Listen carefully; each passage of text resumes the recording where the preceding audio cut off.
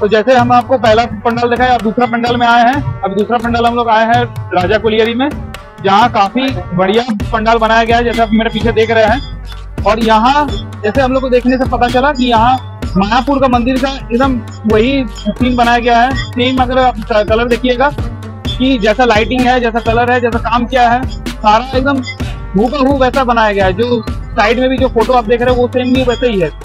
इसके साथ अंदर में भी जो हम लोग का मूर्ति देखेंगे, आपको भी दिखाएँगे। वो कितना अच्छा बनाया गया है, अभी हम लोग देख के आए उसके बाद आपको भी दिखाएँगे उसके चलिए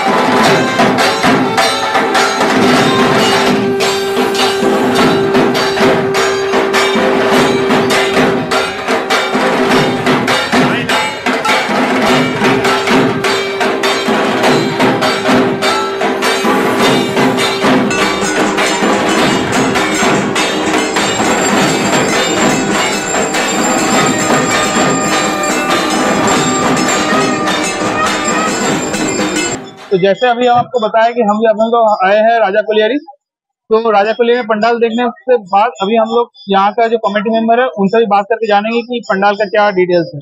आपका नाम? कुंज बिहारी मिश्रा सचिव हम राजा कुल दुर्गा पूजा कमेटी के हैं। अच्छा तो अभी जैसे हम लोग इस बार पंडाल देख रहे हैं हम्म। तो किस दिन से बनाया गया है इस बार? ये मायापुर का इस्कॉन मंदिर है उसी को रूप में बनाया गया ये पंडाल। तो कहाँ का मतलब मिस्त्री है तो कहाँ का है? मिस्त्री पूर्वी मेदिनीपुर का निरंजन है। अच्छा अच्छा। कंठाई बोलकर जगह है वहाँ का मिस्त्री है। पिछला बार भी बहुत अच्छा पंडाल बनाया था इस बार भी देख रहे कि बहुत काफ़ी अच्छा। तो सेम हाँ। वही मिस्त्री है कि अलग है? मिस्त्री सेम है वही मिस्त्री है। मगर वह थीम अलग है पंडाल का थीम है इस मिस्त्री सेम वही है। कंठाई का वही निरंजन पिछला बार भी किए थे इस बार भी वही किए हैं। कुछ क्या बजट हुआ इस बार? बजट है सोलह लाख का पंडाल है और मूर्ति मूर्ति सारा लेकर पच्चीस लाख का बजट है। मतलब काफ़ी बढ़िया बजट है। मतलब हमको लगता है नेशा में सबसे हाई बजट यही है क्या? जी जी। ठीक है।